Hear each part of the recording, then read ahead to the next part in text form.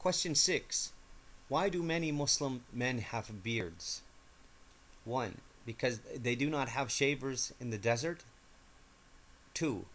For protection from the sun, because historically nomadic people needed to shield themselves from the elements.